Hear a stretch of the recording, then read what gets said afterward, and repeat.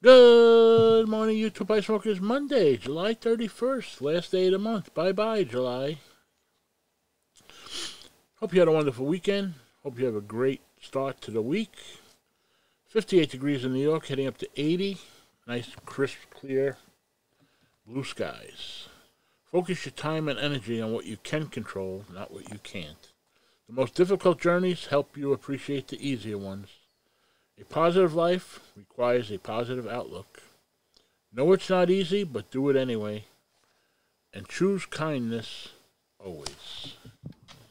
Be well, stay safe, and thank you.